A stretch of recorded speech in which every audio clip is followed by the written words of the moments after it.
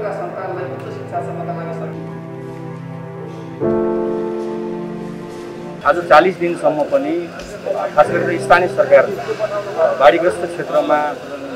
आफ्नो जिम्मेवारी निर्वाह गर्नुपर्ने कुराबाट भाग्न खोजेको कारणले गर्दाखेरि आज हामी बाध्य भएर प्रधानमन्त्रीज्यूलाई खासमा चाहिँ हामी सरकारलाई प्रधानमन्त्रीलाई बधाई पनि दिन्छौँ र प्रधानमन्त्रीलाई चाहिँ कम्तीमा बाढीग्रस्त क्षेत्रको भ्रम- अवलोकनको लागि चाहिँ आग्रह गर्ने र त्यहाँका प्रभावित स्थानीयहरूलाई चाहिँ सरकारको तर्फबाट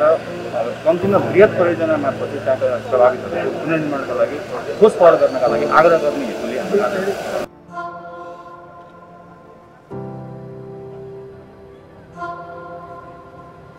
आज